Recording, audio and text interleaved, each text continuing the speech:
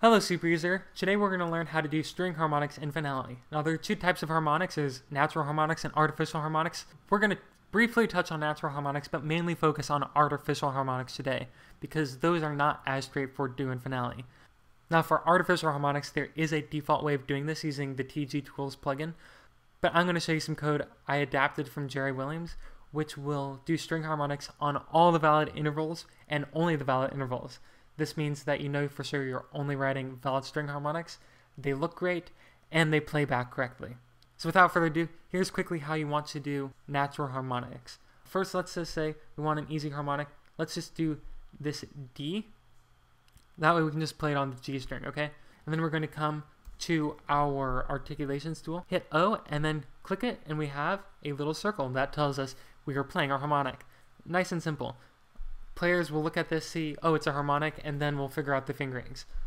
Alternatively, there's artificial harmonics. And you can see up here, I have a bunch of intervals for artificial harmonics. Of these, the only valid harmonics are that and that.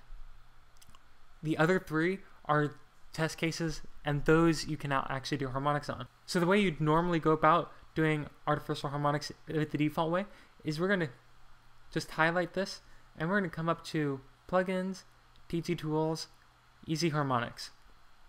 Now you can only do fourths or thirds, and so means you can't do actually fifth artificial harmonics, even though violin players can do that. Uh, and then you normally hit apply, and ta-da, it would notate the harmonic. And then if you want to add the third, you click thirds, apply, and ta-da, you have the notated harmonic. And so if you want to do it the default way, that's it, nice and easy. But I'm going to show you the way I usually do it. So first of all, you're going to want to go to my website. I'll have a link in the description and go to the JW Lua scripts. And then go down to string harmonics, download the script, and then just put it wherever you normally put most of your JW Lua scripts. If you have no idea what I'm talking about, see my video on JW Lua scripts in the description. And then, once you've installed that, you're going to come back up here to JW Lua.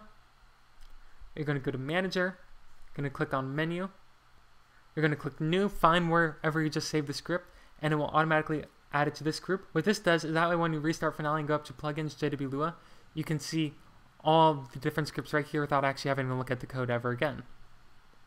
So I'm going to do that. And then all you have to do is come up here to JW Lua, find the script, string harmonics, and just run it. And there you go and you can see that it only did it on the valid string harmonics, in all of them, without having to play with any settings. So that's it, that's how you create string harmonics in Finale, both natural and artificial harmonics.